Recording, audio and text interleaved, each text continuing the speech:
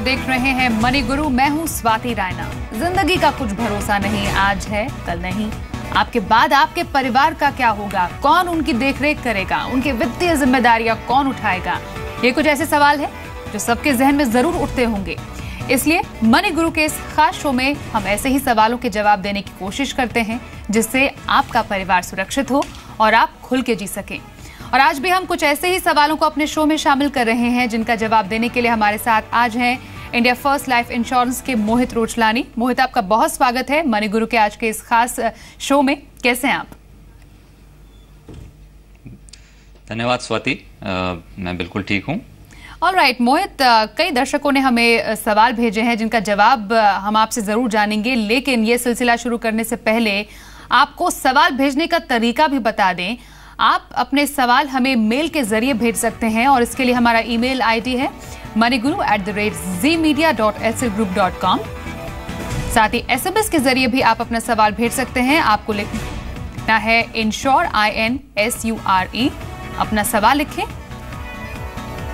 फिर हमें 57575 पर भेज दीजिए। ये तरीका है अपने सवाल मनी गुरु में हमें भेजने का। और राइट चलिए, सवाल जवाब का सिलसिला शुरू करते हैं, मोहित आपके साथ, और पहला सवाल हमारे पास फिरोजपुर से कमलेश जी का आया है। इन्होंने अपने बारे में बताया है कि इन्हें अपनी माँ के लिए एक मेडिक्लेम पॉलिसी चाहिए, जिनकी उम्र 60 साल है। इनकी माँ को डायबिटीज़ भी है, मेडिकल कंडीशन है जिसका इन्होंने ज़िक्र किया है। तो क्या डायबिटीज़ वालों के लिए पॉलिसी मिल सकती है? क्या डायबिटीज़ की वजह से प्रीमियम पर कोई असर पड़ेगा? और कमलेश का जो सवाल है एंड इनफैक्ट कई दर्शकों का ऐसा सवाल हमारे पास आता है मोहित जिसमें एक तो सीनियर सिटीजन पेरेंट्स होते हैं और उनकी कोई मेडिकल कंडीशन होती है। ऐसे स्टेज पर अगर कोई मेडिकल पॉलिसी लेता है मेडिक्लेम पॉलिसी लेता है तो प्रीमियम के लिहाज से कितना ज़्यादा चुकाना पड़ जाएगा? जी।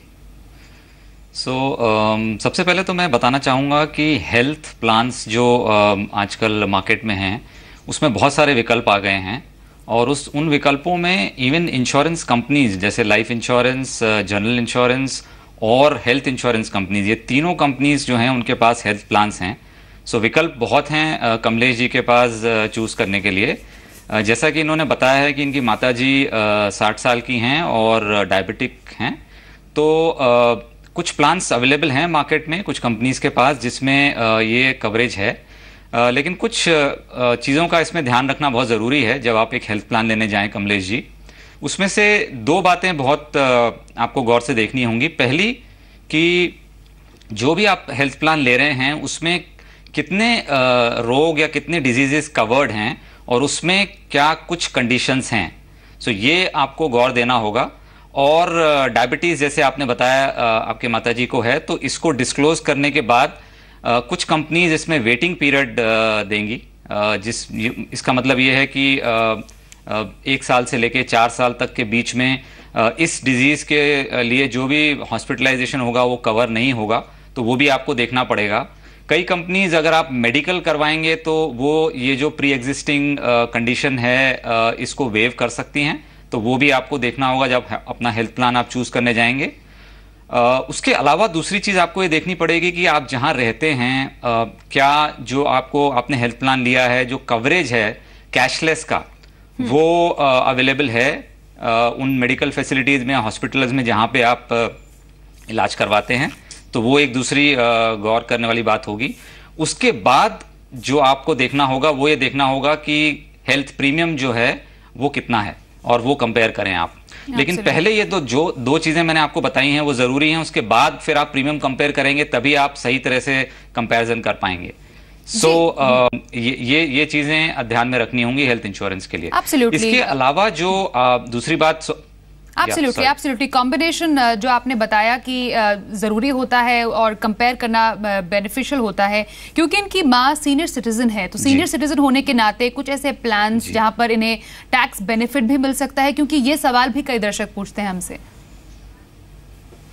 सो so, बेनिफिट्स जी हाँ सेक्शन एटी डी के अ, तहत आपको पच्चीस हज़ार का बेनिफिट मिलता है। और अगर सीनियर सिटीजन्स हैं तो ये बढ़ के तीस हज़ार हो जाता है तो वो बेनिफिट 2015 के बजट में बढ़ गया है और 15 से पच्चीस हज़ार हो गया तो वो बेनिफिट डेफिनेटली अवेलेबल है। और इसमें दो स्ट्रक्चर आप कर सकते हैं जब आप सीनियर सिटीजन या अपने परिवार के अन्य सदस्यों को जोड़ना चाहें। एक तो फैमिली फ्लोटर प्लान्स आते हैं जिसमें आप अपने सारे परिवार को कवर कर सकते हैं एक प्लान से। या तो आप वो स्ट्रक्चर में ले सकते हैं या फिर आप इंडिविजुअली अपने पेरेंट्स के लिए और अपने बच्चों के लिए अलग से एक प्लान खरीद सकते हैं। डिपेंड करता है कि कॉम्बिनेशन में ये प्रीमियम ज़्यादा पड़ रहा है या इंडिविजुअल में प्रीमियम ज़्यादा पड़ रहा है। तो ये एक तीसरी बात भी ध्यान में रखनी होगी जब आप हेल्थ प्लान लेने जाएँगे अपने परिवार के लिए। All right right. uh, ये आपने एक्चुअली बताया कि फैमिली फ्लोटर भी ले सकते हैं लेकिन फैमिली फ्लोटर को लेकर नॉर्मली uh, यूजुअली uh, ये भी कहा जाता है मोहित अगर अपने पेरेंट्स जो कि अबव 60 हैं उनको अगर इस प्लान में जोड़ा जाए तो शायद प्रीमियम ज़्यादा पड़ेगा तो ये एडवाइजेबल होगा सीनियर सिटीजन पेरेंट्स को फैमिली फ्लोटर में जोड़ना Uh, मैंने इसलिए मेंशन किया हम्म। मैंने इसलिए मेंशन किया कि वो स्ट्रक्चर आपको एक बार देखना पड़ेगा All कि right. uh, कितनी एज के uh, लिए अगर आपको यू नो कंपैरिजन के बाद किस क्या चीज़ आपको ज़्यादा किफायती है उसके बेसिस पे आप अपना डिसीज़न ले सकते हैं। All right right. और अगर कोई कॉम्बी प्लान लेना हो तो कॉम्बी प्लान लेने के क्या फ़ायदे होते हैं? और उसमें कौन कौन से प्लान शामिल हो सकते हैं अगर बेनिफिट्स की बात की जाए तो? सो so, एक नया प्लान जैसे आपने बोला स्वाति कॉम्बी प्लान जो है ये एक तरह का प्लान है जिसमें आप अपना मेडिकल इंश्योरेंस और टर्म इंश्योरेंस को कंबाइन कर सकते हैं। Okay. तो इसमें ये ये प्लान जो है, एक हेल्थ इंश्योरेंस कंपनी और लाइफ इंश्योरेंस कंपनी मिलके ये एक प्रोडक्ट बनाती हैं और कस्टमर को देती हैं। फ़ायदे इसके ये हैं बेसिकली कि अगर आपने एक कॉम्बी प्लान लिया तो अगर आपको हॉस्पिटलाइजेशन है तो वो भी कवर रहेगा। और अगर इसके अलावा आपको कोई यू नो टर्म इंश्योरेंस के लिए अगर अगर आप जीवित नहीं रहते हैं तो वो भी आपको कवर्ड रहेगा टर्म इंश्योरेंस के द्वारा, जो आपके परिवार की सहायता करेगा। ओके okay, तो ऑल राइट right, कमलेश आपके लिए एक्चुअली uh, काफ़ी ज़्यादा ऑप्शंस बताए हैं। अब मोहित ने कि आप कैसे अपनी uh, माँ के लिए एक अच्छा मेडिकल पॉलिसी uh, ले सकते हैं और uh, जो उनका जो एग्जिस्टिंग uh, जो उनकी कोई uh, बीमारी है वो भी उसमें अच्छे से मेंशन करके आप एक प्लान के लिए आगे ज़रूर बढ़ सकते हैं। अगला सवाल लेते हैं हमारे पास। रतलाम से शंकर शर्मा का भी सवाल आया है। शंकर इनफैक्ट काफ़ी यंग है पच्चीस साल के हैं ये। और अभी से इन्होंने डिसाइड किया है कि एक टर्म प्लान लेना चाहते हैं, जो कि एक बहुत अच्छा मूव है। पाँच लाख का हेल्थ इंश्योरेंस भी इनफैक्ट लेना चाहते हैं। तो कौन सी पॉलिसी ऐसी इन्हें मिल सकती है, जिनमें ये दोनों प्लान शामिल हों? तो एक्चुअली शंकर का सवाल एक्चुअली वाजिब भी है और कई ऐसे दर्शकों का सवाल भी होता है जो कि टू इन वन पॉलिसी उन्हें कोई मिल जाए, जिसका शायद आपने इससे पिछले सवाल में भी मेंशन किया था कि कॉम्बी प्लान लिए तो काफ़ी बेटर साबित हो सकता है। तो क्या Shankar being young most importantly और क्योंकि अभी स्टूडेंट है, शायद इनके पास एक कांस्टेंट ज़रिया नहीं होगा इनकम का तो इनके लिए एक ऐसा कोई प्लान है जो इनके तमाम जो रिक्वायरमेंट्स पूरी कर पाएँ? जी एक बात स्वाति इसमें समझना बड़ी ज़रूरी होगी शंकर जी के लिए कि जो टर्म इंश्योरेंस है या जीवन बीमा जो हम लेते हैं प्योर प्रोटेक्शन प्लान इसका इसका इसका सवाल यू नो आपके इनकम के ऊपर है कि आपके आपकी इनकम कितनी है और आपके ऊपर डिपेंडेंट्स हैं क्या हम्म। क्योंकि अगर आप नहीं रहेंगे और वो इनकम अगर बंद हो जाएगी तो जो आपके डिपेंडेंट्स हैं उनके लिए ये इंश्योरेंस प्लान बनाए जाते हैं स्टूडेंट्स के लिए अगर अगर वो इसके अलावा और कुछ काम नहीं कर रहे हैं या आ, कुछ उनकी इनकम नहीं है तो मोस्टली इंश्योरेंस कंपनीज़ पहले ये देखती हैं कि क्या उनके पेरेंट्स के पास पर्याप्त इंश्योरेंस है कि नहीं। Right. और एक बार अगर आ, उनके पेरेंट्स के पास पर्याप्त इंश्योरेंस है उसके बाद स्टूडेंट्स को टर्म कवर के लिए यू नो देखा जाता है। सो uh, so वो वो हर कंपनी डिसाइड uh, करेगी ऑन द बेसिस ऑफ़ उनकी उनकी गाइडलाइंस के ऊपर। लेकिन जो हेल्थ इंश्योरेंस के बारे में उन्होंने बात करी है, जो मैंने जैसा कि बताया कि डेफिनेटली हेल्थ इंश्योरेंस उनके लिए या तो एक फैमिली फ्लोटर प्लान में, जो उनके पूरे परिवार के लिए लिया जा सकता है और वो उसमें एक मेंबर बन सकते हैं। और जो बातें मैंने और बोली पिछले प्रश्न के जवाब में, कि इसमें आपको ये देखना पड़ेगा कि आपको क्या क्या कवरेज मिल रहा है और उसके बेसिस पे आप अपना प्रीमियम कंपेयर करके एक अच्छा हेल्थ प्लान ले सकते हैं। All right Mohit in fact online term plan खरीदने की भी सलाह दी जाती है। कहते हैं कि वो सस्ता पड़ता है। कई लोगों में एक्चुअली झिझक होती है हिचक होती है कि ऑनलाइन खरीदेंगे कुछ गड़बड़ी हो गई तो क्या हो जाएगा? तो किन बातों का ध्यान रखना चाहिए ऑनलाइन क्योंकि ऑफलाइन जब हम भर रहे होते हैं तो शायद किसी ना किसी की मदद से उसको भरा जा सकता है। ऑनलाइन में क्या सावधानियाँ बरतें? सी देखिए ऑनलाइन में आ, किसी भी इंश्योरेंस प्लान खरीदने में सबसे पहली और ज़रूरी चीज़ ये है कि जो भी आपसे सवाल पूछे गए हैं, उनका जितना आप सही जवाब दे सकते हैं दें।